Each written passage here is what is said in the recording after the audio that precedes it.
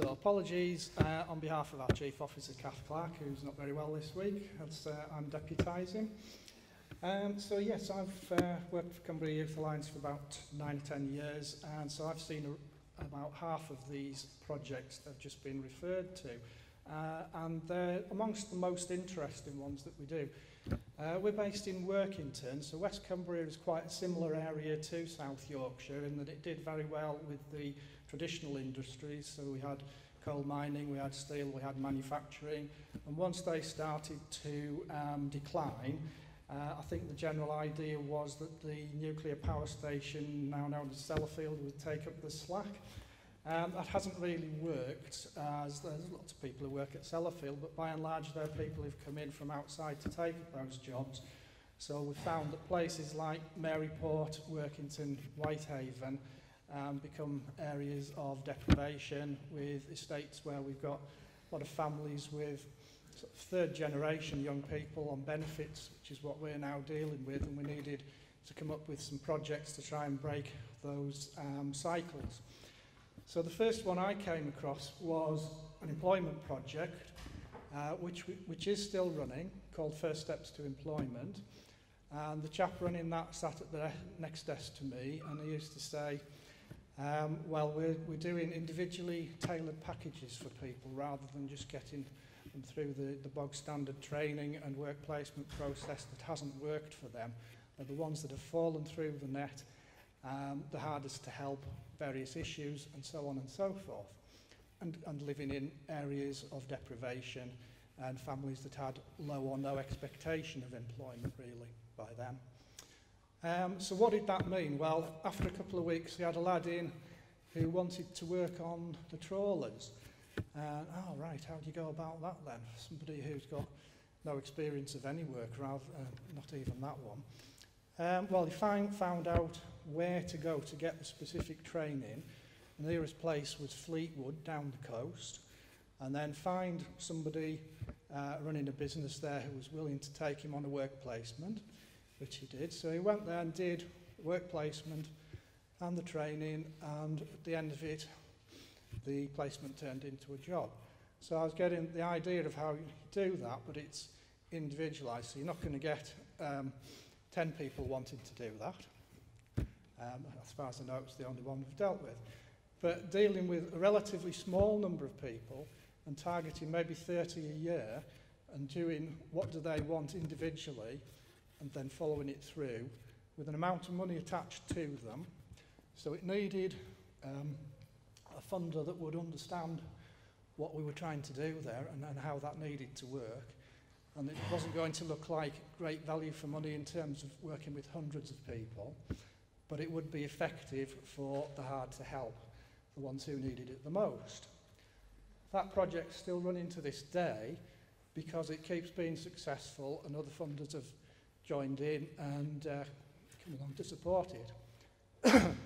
so the next one I came across was um, moving into the skills area where we were doing um, using the same methodology but moving it into the world of sport.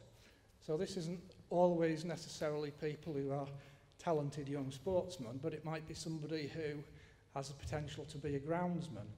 And if you can find out the right training that will be accepted by the industry, by an employer, and then enter the placement, and again, that worked. And again, we've still got workers today working on um, that sports method because we found that we can make it work and therefore attract other funders to come on board as partners. More recently, um, sadly, great epidemic in mental health issues and need for emotional resilience projects to build up people, young people's resilience so that they can get to a stage where you can start to work with them on the employability stuff and, and that all needs doing first. So that's what's currently being funded um, by Coalfields Regeneration Trust. Um, and that, again, is working very well. We've just had the, the first cohort of people through, and starting the second one, demand outstrips supply. For everything um, for the future, looks as though it's going to be more and more within the health realm, because if we can't address those health issues, particularly the mental health issues, we're not going to be able to keep feeding people into these projects because they're, they're just not capable, they're not ready to do employment and skills projects. So, that's where we're at. I've forgotten to click this. These are Kath's slides, not mine, so if you've got any questions, um, address them to Kath.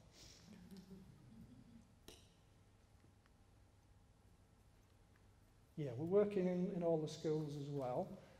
Um, because of the raising of the school leaving age and the, the rising sort of alternative education provision, we've found that there's a route in there to working within the schools um, to try and start that process as early as possible and just finding alternatives that work um, for these young people. So things like Duke of Edinburgh, uh, the Cumbrian Award, which is similar, and ASDANs, which are more accessible.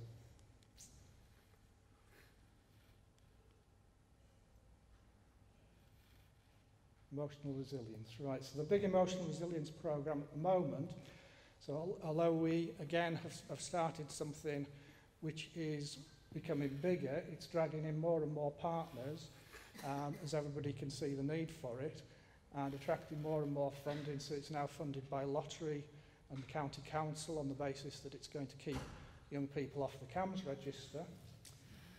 Uh, so again, we have done not just a project, with from Coalfields, but um, working with us as a strategic partner, developed something that um, is more and more needed and will be more and more part of our provision in the years to come.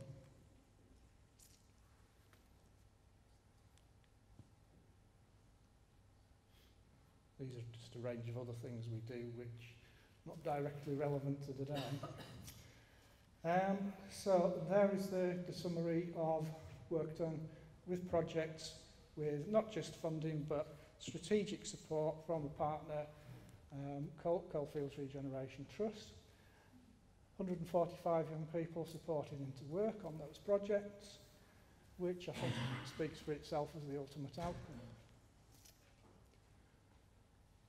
Um, the data that's provided by Coalfields um, goes beyond just being a funder And because we're also a membership organisation for youth groups within Cumbria, we can refer people who need support uh, to Coalfields as one of our strategic partners, and that's also uh, increasingly important. So one of the um, partners in the Emotional Resilience Project, uh, together with uh, Female Gym, has recently been funded in its own right to run their own project, and I gather there are two more in the pipeline. Uh, what comes next, as I say, is mostly going to be the emphasis on mental health. Every time we put on one of these workshops, which we're doing more and more frequently, it fills up as soon as we publicise it. Uh, parents want it, uh, professionals want it, everybody wants this training. So a big thank you to Coalfields Regeneration Trust from Cumbria Youth Alliance.